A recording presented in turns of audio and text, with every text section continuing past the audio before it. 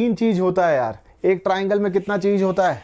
तीन right hypotenuse opposite और adjacent इसका मतलब समझेंगे यार, बहुत ज़्यादा आराम से समझेंगे, कोई दिक्कत नहीं है। तो बच्चों, ये है वो एंगल एक्स ये क्या है? बताओ यार, ये है मेरा एंगल ठीक है, ये है मेरा एंगल यस और नो यार? बता, ये क्या है angle this is my angle अब, जो एंगल के जो साइड एंगल के साथ है, उसे क्या नाम दिया गया?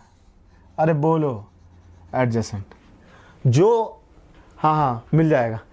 जो एंगल एक साइड के साथ है, उसका नाम दे दिया गया एडजेसेंट एडजेसेंट एडजेसेंट का मतलब क्या होता है पता है? ये बेस नहीं है, अचिंत्या. तो बहुत बच्चे क्या करते हैं ना? बच्चे बोलते हैं, सर, यही बेस है. अच्छा एक आना यार, ये एंगल अगर मान लो, क्या मानेंगे सर? अरे देख तो ले भाई। ये वाई है बच्चा, ये वाई है। तो वाई के लिए देखते हैं कौन कौन अच्छा आंसर करेगा। वाई है तो वाई के लिए एडजेसेंट कौन सा साइड होगा? वाई के लिए एडजेसेंट कौन सा साइड होगा? बता। वाई के लिए एडजेसेंट साइड कौन सा होगा? बहुत सही। ये वाला साइड अगर मान लो इसको हम लोग प्यार से नेमिंग कर देते हैं तो y के लिए जो एडजेसेंट साइड होगी, वो होगी ए बी करेक्ट कोई दिक्कत नहीं। तो इसलिए बच्चों, ऐसे मत सोचना कि base base base perpendicular perpendicular perpendicular नहीं। कॉन्सेप्ट बड़ा क्लियर है, जो एंगल होता है कमान जो एंगल होता है, उसके उसके उसके साथ वाली जो साइड होती है राइट उसे एडजेसेंट कहा जाता है। तो वाई के लिए एडजेसेंट क्या है? अरे ध्रुव नंबर में क्या रखा है? नंबर बहुत छोटी क्वांटिटी है तो इस पर ध्यान देते। वाई के लिए एडजेसेंट साइड क्या है? ए बी वेरी गुड यार, तुम लोग बहुत होशियार हो।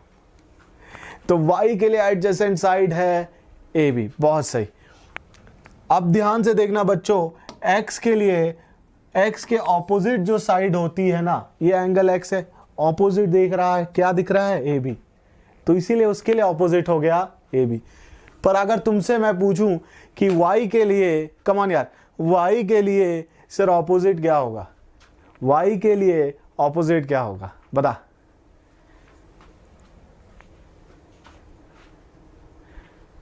वाई के लिए ऑपोजिट साइड क्या होगा? सी बी बड़े होशियार हो तुम लोग। बिल्कुल। हाइपोटनेस कभी चेंज नहीं होगा। हाइपोटनेस का बस एक ही वैल्यू है जो है इस क्या ये कॉन्सेप्ट बहुत ज़्यादा क्लियर है? किसी बच्चे को कोई भी तरह का दर्द एनी पेन कोई भी दर्द बच्चों। अरे देख बालक, ये अगर x है तो x के साथ वाली जो साइड है ना दैट इज़ कॉल्ड एडजेसेंट उसके ऑपोजिट वाले साइड को कहा, क्या जा, कहा जाता है? ऑपोजिट राइट इसी तरीके से बेटा ये वाई है तो इसके साथ वाली जो साइड है उसको एडजेसेंट और उसके ऑपोजिट वाले को ऑपोजिट सही है ना? चलो, आगे बढ़ते हैं यार।